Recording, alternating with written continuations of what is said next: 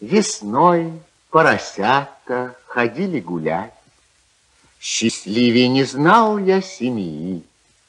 Хрю-хрю, говорила довольная мать, а детки визжали. Но самый визгливый из всех поросят сказал им, о, братья мои, все взрослые свиньи хрю-хрю говорят, довольно кричать вам. Послушайте, братья, как я говорю, чем хуже я взрослой свиньи. Бедняжка, он думал, что скажет хрю-хрю, а жалобно взвизгнул. С тех пор перестали малютки играть, не рылись в грязи и в пыли, а все потому, что не смели визжать, а хрюкать они не могли. Мой мальчик, тебе эту песню дарю. Рассчитывай силы свои, и если сказать не сумеешь хрю-хрю, визжи, не стесняясь.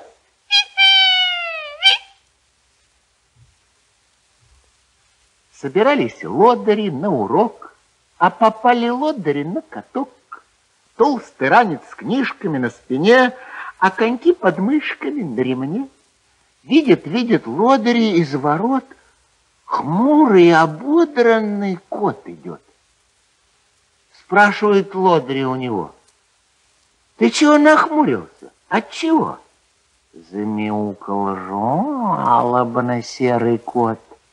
Мне коту а тому скоро год, и красив я лодырь, и умен, а письму и грамоте не учен.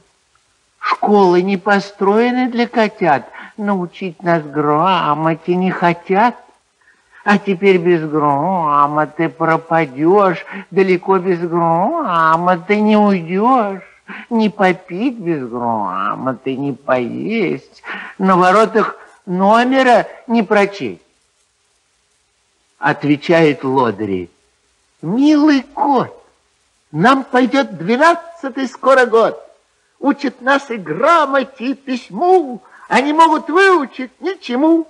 Нам учиться лодырем что-то лень, на коньках катаемся целый день. Мы не пишем грифелем на доске, а коньками пишем мы на катке.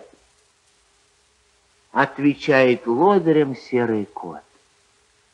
Мне коту а тому скоро год.